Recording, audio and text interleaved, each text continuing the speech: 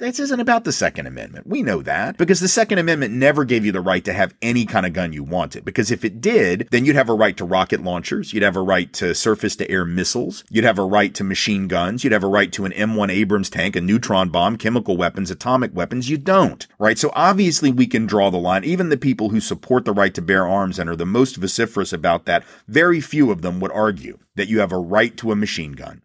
Very few of them would argue that you have the right to a surface to air missile. That is an arm. That is a weapon, right? But we draw a line. And the point is, if we can draw a line at those weapons, it's relatively arbitrary. Why can't we draw it a little bit closer to home? Why can't we draw it around semi automatic, high capacity magazine, multi shot weapons? Why can't we draw it around certain types of handguns? Well, the answer is we can and still keep in line with the Second Amendment. This is just a smokescreen argument and everybody knows it. I mean, ultimately, this isn't about self defense and it's not about the Second Amendment because if it were just that, there would be absolutely no need for AR 15s. There would be absolutely no need for high capacity magazine weaponry. There would be absolutely no need for guns, even just handguns that take nine shots in a clip or 12 shots in a clip. There would be absolutely no reason for any of that. You don't need any of that to defend yourself. You could defend yourself more than adequately with a, you know, sort of old school double barreled shotgun or an old school single shot rifle, frankly. Um, people defended themselves for years with that. And so, so honestly, if we want to get down to what we need to do, I mean, in addition to the obvious. Uh, I think I think we ought to ban the, production and manufacture, sale, and possession of AR-15s or any kind of high-capacity magazine weaponry. And there's just no need for it. And and I know people are going to say, well,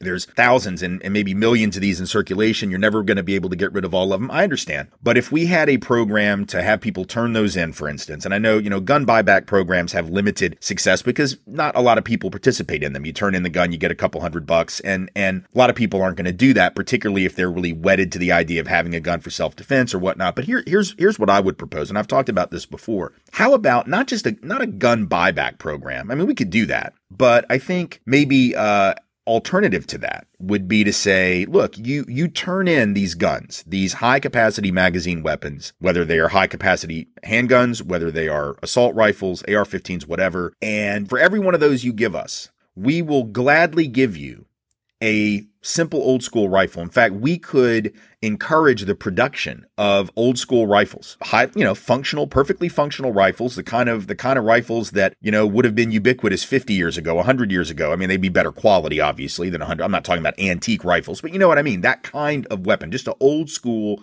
long gun. And that way you could take all the gun manufacturers who you'd be in a sense putting out of business because they can't make these other weapons anymore. And you'd say, look, we don't want to, we're not trying to bankrupt you. We're not trying to put you out of business. We don't want to lay off all your employees. We just want you to, to get busy making the kind of weapons that people can actually use to defend themselves. Or if they're going to go hunting, they can hunt with those. They can defend themselves with those. So for every one of these weapons that we're now going to ban, you can bring it in. We will, the government will guarantee you, and, and this, these companies that make the weapons will have an automatic market basically uh, that they can produce for of long guns, and we will trade. It's a swap program, or you can turn it in and get cash, whatever. Either way, uh, the government will either give you cash for it, or we will uh, provide you with one of these long guns that this company is going to make. It wouldn't end the problem for God's sake, but but it would certainly make a dent. We know in other countries those kinds of programs have dramatically reduced. In Australia, dramatically reduced gun violence, particularly mass murder type violence. None of those since the gun confiscation slash buyback program many years ago. This would be a way to satisfy the Second Amendment purist right? Because what we'd be saying is, look, you, you have a right to bear arms, fine. You're going to get a rifle. Even even the rifle that we'll give you is more advanced than what the framers were actually thinking of because it actually has bullets, not musket balls. So in a sense, we're giving you something even better than they were thinking of. You can defend yourself with a rifle. And in fact, as we begin to wind down the circulation of these other weapons, I know we're not going to get rid of all of them, but we're certainly going to wind that down. You would then not need anything greater than that for your self defense. And we could also ban the ammunition like, oh, you have a right to bear arms, you have a right to that weaponry. Okay, but we're not going to make any bullets for it anymore. So if you want to have an AR-15 that you can just look at and play with and pretend, that's fine. But the but the bullets that go with that are going to be banned. You're not going to be able to manufacture those. Uh, we could impose strict liability laws that say, hey, you want to you want to keep your gun, that's fine. But here's the deal: if your gun is used, first of all, you have to register it immediately. If you don't register it, you're going to face serious criminal penalty. But if your gun ends up being used in the commission of a crime, or if your gun ends up being used in an accidental shooting, then you are going to face stiff criminal penalty. So we're going to have strict liability imposed upon the owner of the gun to ensure that it is not used for nefarious purposes. At the very least, what that would do is mean what? It would mean that people would have to be very, very cautious with their guns. They'd have to keep their guns locked up, which reduces the likelihood of accidental shootings. It reduces the likelihood of suicide use of the gun. It also reduces the likelihood that someone who breaks into a house could find your gun and steal your gun. That's what happens a lot. A lot of law abiding gun owners who don't secure their weaponry, their guns end up getting stolen every year. One of the ways that a lot of legal guns end up on the street is because they get stolen by criminals who break into places. Uh, people leave them in their cars like idiots, or they leave them in a in a dresser drawer, and somebody breaks in, finds the gun, takes it. If that happens, under this new law that I'm proposing, then the owner would be in serious shit, right? So now that becomes a deterrent. I'm sitting there thinking to myself, I don't want to take any chance, man. If my gun is used in the commission of crime, I'm going to go to jail. I'd rather get rid of my gun. There are all kinds of ways like that. The gun buyback, the gun swap program, the strict liability, a lot of things like that that would incentivize getting rid of your gun. And of course, I think we ought to ban gun shows. There's absolutely no reason for these almost entirely unregulated gun shows where the notion of a well regulated militia goes straight into the toilet in a place like that. So, you know, there are a lot of things like that that we can do better background checks, mental health screening, 72 hour wait periods. I mean, whatever. There's lots of stuff. And I think we ought to do all of it. But let me close with this because ultimately, we do have a problem that is, I guess you would say, concordant with the gun issue. So yes, it's the guns. The data says it's the guns. The availability of the guns is the biggest problem. But let's understand there's a reason why America has so many guns. That's not just some abstract disconnected fact. And we have to ask ourselves, why is the United States so wedded to the gun? Because even if we ban the sale and manufacture and do all the stuff that I just mentioned and a lot of other things that you could imagine, we still got to deal with this cultural attachment that we have, unlike any other nation on earth, to guns for a particular purpose. Yeah, there are lots of guns in Canada, right? There are lots of guns in Switzerland, but they have a very different cultural understanding of weaponry. First of all, they don't have rights to weapons in those places. It's a far healthier way of dealing with it. But until we get rid of the Second Amendment uh, or have a different jurisprudence understanding of the Second Amendment, we're not going to be able to, to go quite that direction. But in addition to that, those countries, Canada, Switzerland, Australia, all the nations of Europe, really all the other nations on earth that we like to compare ourselves to, have never defined their country in as martial and warlike and weapon like a way as the United States. We are attached to weapons because we are a settler colonial nation that is rooted in conquest and rooted in very recent conquest. I realize that most nations on earth and most nation state boundaries, right, are the result of war, are, are the result of conquest. But for a lot of countries, that shit goes back a really long way. It's not a fresh national memory. Um,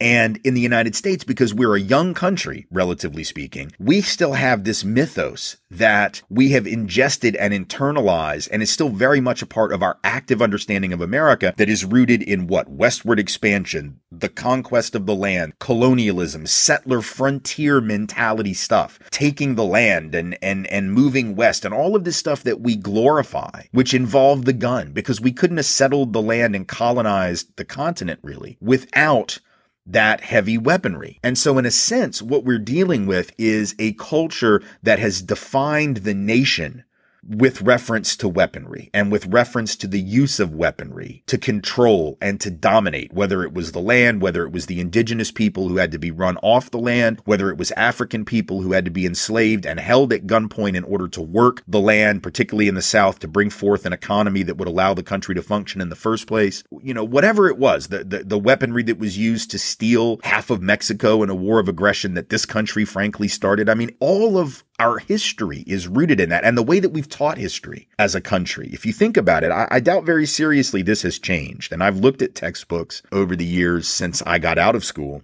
And the, the stuff that we're teaching our young people is still very much a litany of narratives about war heroes and generals and battles. You know, like when we study the Civil War, we're studying the history of battles. When we study the Revolutionary War, we're studying the history of battles. It's Lexington and Concord. It's, you know, we're talking about generals and we're talking about troop movements. That's who we are as a country, much more so than any other. So our, our very notion of not just nationhood, but masculinity is tied up with that.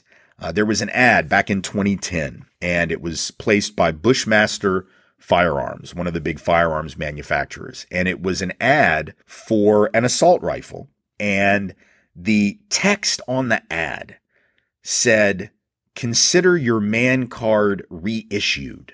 And it had a picture of this assault rifle, which you look at this weapon, there is no reason on earth for anyone to have this weapon for self defense, for hunting, for any reason at all, other than either to go murder people or to feel like a bigger man for having it and for possessing it. What kind of sick notion of manhood is that? Consider your man card reissue. This is appealing to guys who don't feel masculine enough and somehow you know, this gun becomes this sort of substitute phallus. No other country on earth does this shit, right? You think about how they define manhood in European nations, right? Uh, you know, you think of, I mean, you ask your typical American man uh, whether they think Frenchmen are manly, right? And they're going to probably say no because we have this image of the Frenchman as this guy that sits around in a cafe all day wearing a beret, reading poetry and drinking coffee. Not that there's anything wrong with that, but in this country, we apparently think there is because that's not what real men do real men drive trucks and they go shoot shit and they eat a lot of meat and, you know, they get dirty and uh, whatever. I mean, like we just have this imagery of manhood and the gun is very much a part of that. They don't have that imagery of manhood in Asia. So martial arts is a defensive thing. It isn't something you just break out on people to beat their ass. But here,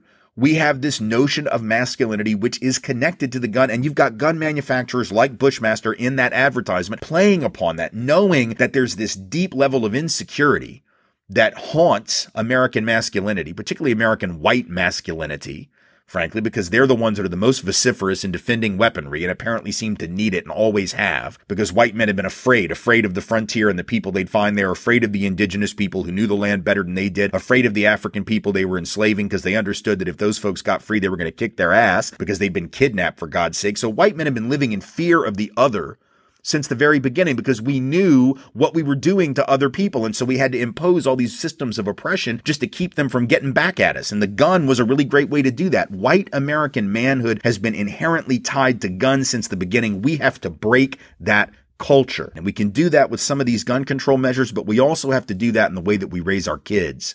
We have to teach history differently. We have to talk about manhood in a different way. We have to raise our boys differently. We have to challenge the mentality that guns are cool and they make you tough. We ought to have a public health campaign to stigmatize guns. We ought to we ought to try to make guns as uncool as cigarettes. Remember, you know, I don't know about you. I'm I'm almost 50 years old. I remember growing up and cigarettes were still considered cool in the 80s and in the 70s and they were definitely considered cool in the 60s and the 50s, man. You know, you turn on a television show from those days, or you, uh, you know, Twilight Zone was my favorite show. Rod Serling always was smoking a cigarette. James Baldwin, my favorite writer ever. Anytime you saw him interviewed, he was smoking a cigarette. Um, in the 40s and the 50s, all the Hollywood stars, you'd see pictures of them out at the club or whatever. They're always smoking cigarettes. The Rat Pack in Vegas, they're always smoking cigarettes. Cigarettes were a status symbol. Now, they are like, you see somebody smoking a cigarette and it's like, oh, you know, there's like a certain grossness factor to it for a lot of people. And I know a lot of that's bound up with classism. And I don't want to like applaud that part of it because we know that disproportionately the folks who are still smoking tend to be working class and lower income. And a lot of upper middle class and affluent folks, at least in this country in the United States, have, have, have stopped smoking. So I don't want to make it like, oh, look at those dirty low class people who still smoke. But generally speaking, when you see someone smoking, there's sort of a, re-